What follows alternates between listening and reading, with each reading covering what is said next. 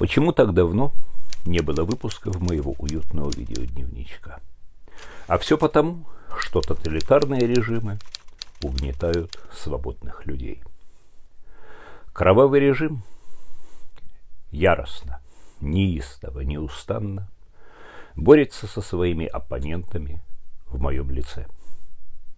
Будучи не в силах совладать со мною психотронным оружием, своими резонаторами Гельмгольца, потому что каждый раз, выходя на улицу, я надеваю на голову шапочку из алюминиевой фольги, кровавый режим пустил в ход климатическое оружие.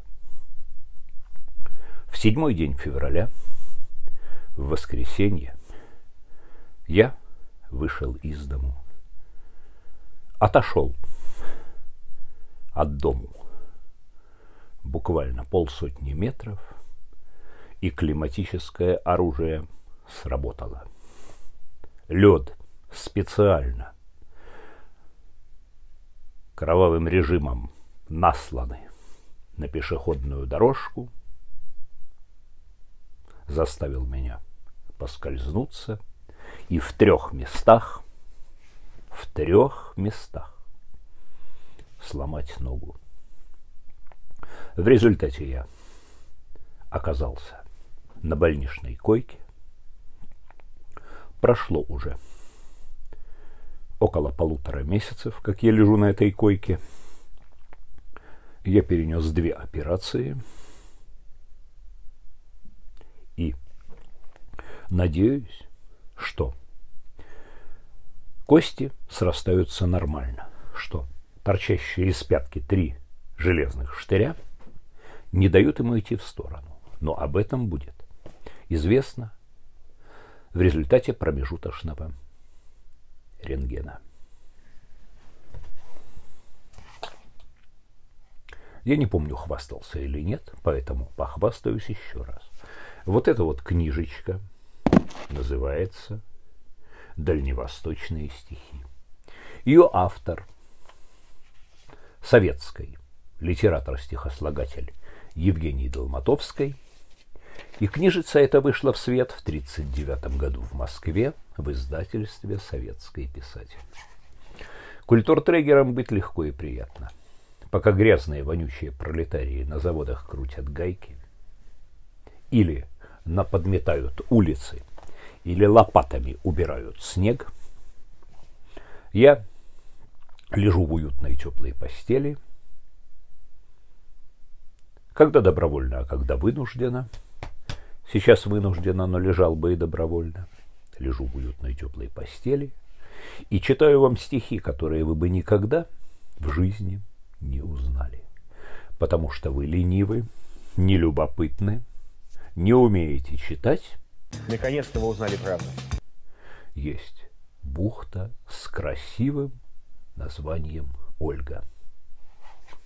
Так вот, Евгений Долматовский посвятил этой бухте стихотворение, которое и открывается первая глава, глава с названием «Океан», книги «Дальневосточные стихи». Стихотворение так и называется «Бухта Ольга».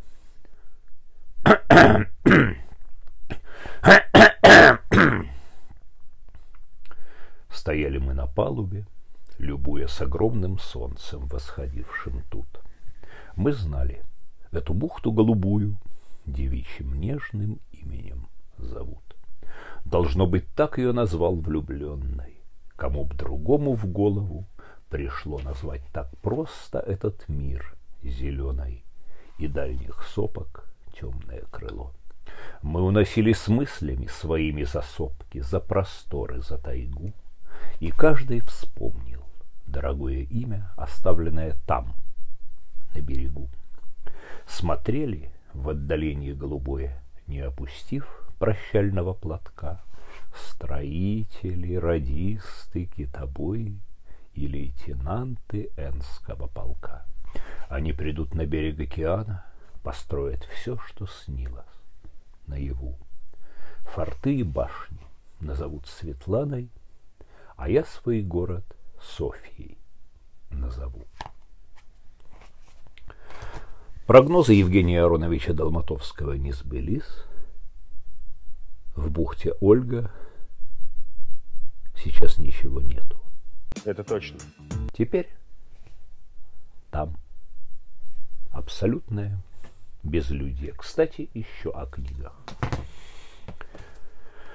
Волею-неволею оказавшись на больничной койке, я обложился книгами и трачу очень много времени на чтение, потому что тот, кто читает книги, тот владеет миром. Мне привезли очередной труд камчатского краеведа Сергея Гаврилова «Представительная власть Камчатки 1917 1993 годы. В этом толстом томе находится полупересказ, полуцитирование протоколов различных сессий органов законодательной власти Камчатки в указанный период. Последние годы застоя, перестройка – и первые годы демократизации. Чтение, на мой взгляд, очень интересное для тех, кого интересуют процессы развития Камчатки. Правда, издание заявлено как монография, по крайней мере в аннотации сказано что в монографии прослежена деятельность 16-21 созывов Камчатского областного Совета народных депутатов. Но на самом деле, конечно, монография эта работа не является. Это компиляция документов и пересказ этих самых документов. Однако, несомненно, она интересна и полезна.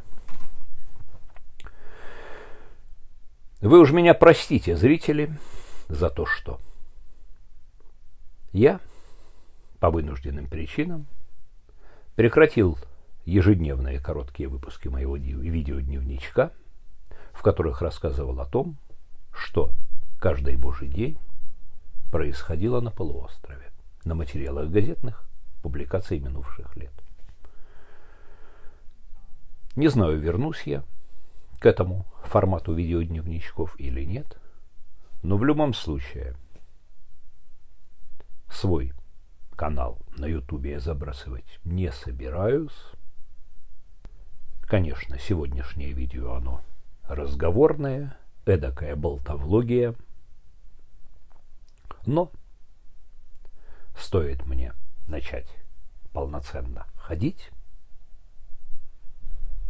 без костылей, на которых я доковыливаю до сортира. И вас ждет много интересного и забавного о Камчатке. Так что не отписывайтесь. Да, и, как я обычно говорю в конце, ставьте лайки, если вам нравится наблюдать за мною на просторах уютного ютубчика. Ежели не нравится, ставьте дизлайки.